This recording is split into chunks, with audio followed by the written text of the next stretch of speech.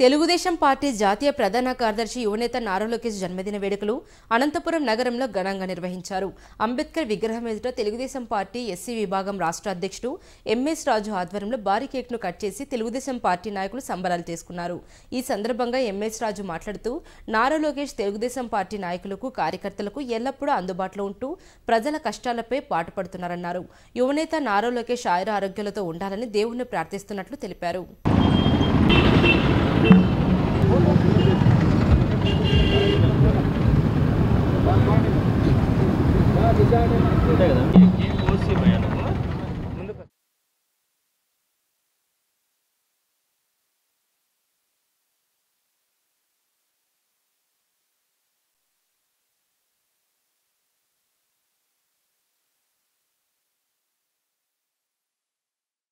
నందమూరి తారక రామారావు గారి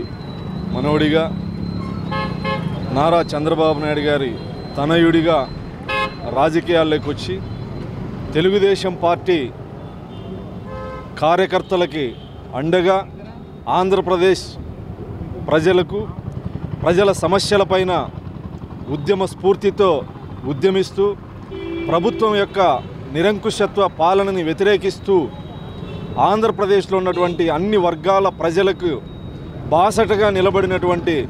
మా యువనేత నారా లోకేష్ గారి పుట్టినరోజు సందర్భంగా ఆయనకి శుభాకాంక్షలు తెలియజేస్తూ పోరాట పటిమ యువతని చైతన్యం చేస్తూ యువతకు స్ఫూర్తిదాయకంగా ఆయన పోరాటం రాజకీయాల్లో అనేక అవమానాలు బాధలు కష్టాలని ఓర్చి ఈరోజు దమ్మున్న యువనేతగా ఆంధ్రప్రదేశ్ యువతని నడిపించగల నాయకుడిగా ఈరోజు ఆంధ్రప్రదేశ్లో ఉన్న ఏకైక యువ నాయకుడు నారా లోకేష్ గారు భవిష్యత్తులో ఆయుర ఆరోగ్యాలతో ఉన్నత శిఖరాలు అధిరోహించాలని తాత ముఖ్యమంత్రిగా ఉన్న తండ్రి ముఖ్యమంత్రిగా ఉన్న ఆయన మంత్రిగా ఉన్న ఎక్కడా కూడా అవినీతి మచ్చలేనటువంటి నిజాయితీ నిబద్ధత కలిగినటువంటి యువనేత నారా లోకేష్ గారి నాయకత్వంలో తెలుగుదేశం పార్టీ కుటుంబ కుటుంబ సభ్యులు డెబ్బై లక్షల మంది కార్యకర్తలకు అండగా ఉండి రెండు వేల ఇరవై నాలుగులో ఆంధ్రప్రదేశ్లో తెలుగుదేశం పార్టీ విజయ కేతనం ఎగరవేయడానికి నారా లోకేష్ గారి నాయకత్వ పటిష్టత ఎంతో అవసరం. ఆయన ఆ- ఆయుర ఆరోగ్యాలతో ఉండాలని ఇదే విధంగా ఈ నిరం నిరంకుశత్వ పాలనను వ్యతిరేకిస్తూ ఉద్యమ స్ఫూర్తిని మాలో కల్పించే విధంగా ఆయన పోరాట పటిమ కొనసాగాలని